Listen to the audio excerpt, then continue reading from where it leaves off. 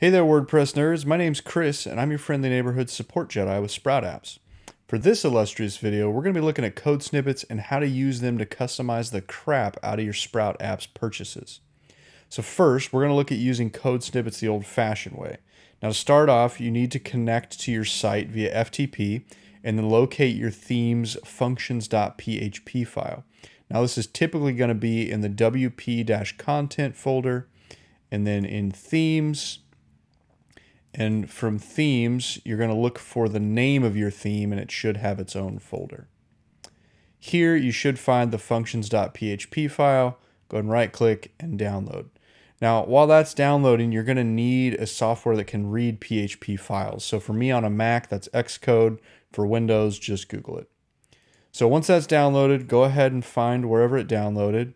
And then before we do anything to this, we actually want to make a copy of it in case we screw something up and break everything.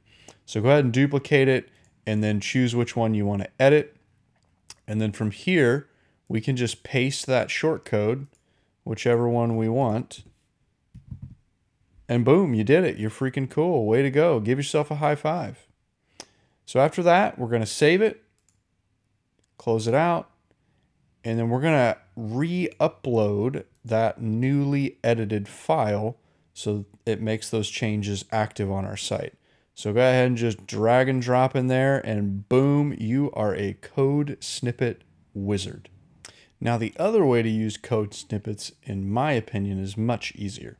There's a plugin called Code Snippets that you can install directly to your site. So head to your plugins tab, click add new, and then you should be able to search for this plugin by just searching code snippets. Now once you found that, you can install it and then click the fancy blue button to activate it.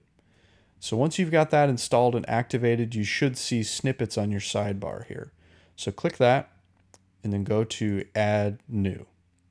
Now from here, you can enter a title for your shortcode and we're using the default invoice due date shortcode. So then you can paste the code into the code section, you can add a description if you'd like, and then just click that big pretty blue button and you are a customization prodigy. Hey guys, thanks for joining us on this edition of Chris Tells You How to Do Stuff and You Do It. Until next time, happy invoicing, nerds.